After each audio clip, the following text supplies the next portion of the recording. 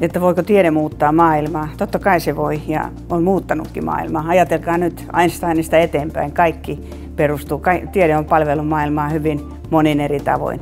Teknologian kehitys, lääketieteen kehitys, tekoälyn kehitys, mutta sitten myöskin yhteiskuntatieteissä tutkimus on osoittanut, että mitä enemmän on tasa-arvoa, sitä paremmin pärjää yhteiskunta ja sitä paremmin kaikki sen jäsenet voivat.